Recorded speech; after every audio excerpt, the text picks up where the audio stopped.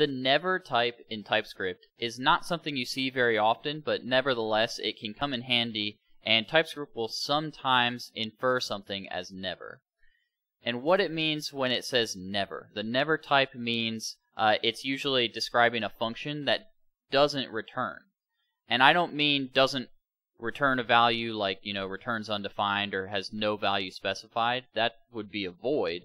Uh, I actually mean it won't return. So uh, function foo, ways to not return in a function. I can say while true, and now this function is never going to return. We will be caught in this loop forever. And TypeScript has defined it as type void, but you could actually say this is type never.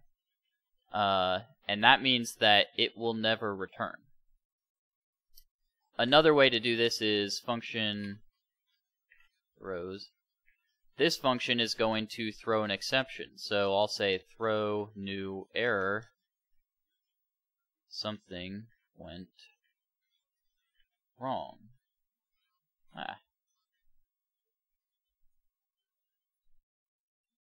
TypeScript says void again. I'll say never. But never just means this will never return. This function, never going to return. This function, never going to return. So inherently, if I say function my func uh, foo now my func is type void. If I say return foo, my func is now never. Same with return throws. My func is now never. So the never type is describing a function that will never return.